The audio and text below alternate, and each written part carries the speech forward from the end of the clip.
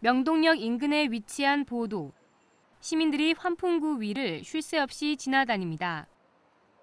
전체 보도에서 보행자가 지나다닐 수 있는 면적보다 환풍구가 차지하는 면적이 훨씬 넓어 사람들이 일시적으로 몰리게 되면 환풍구 위로 자연스럽게 밀려나게 됩니다.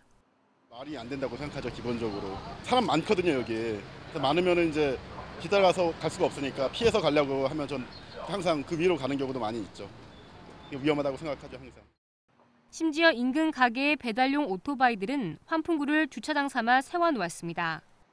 바닥형 환풍구는 시민들이 보도처럼 이용하게 돼 추락 사고의 위험성을 높일 뿐 아니라 인체에도 치명적인 영향을 줄 수 있습니다. 환풍구에서 배출되는 공기 중에는 미세먼지와 포름알데히드, 휘발성 유기화합물이 축적된 유독물질이 포함돼 있어 환풍구 위를 지나면서 공기를 들이마시면 눈과 피부에 직접적인 부작용을 초래할 수 있습니다. 이 때문에 환풍구 위로 시민들이 아예 접근할 수 없도록 환풍구 높이를 대폭 높여 위험 요소를 원천 차단하는 방법으로 문제를 개선해 나가야 한다는 목소리가 높습니다.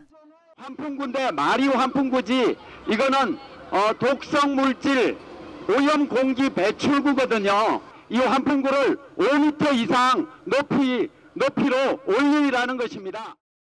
시민들의 안전과 건강을 위해 환풍구의 형태에 대한 근본적인 재검토가 필요한 때입니다.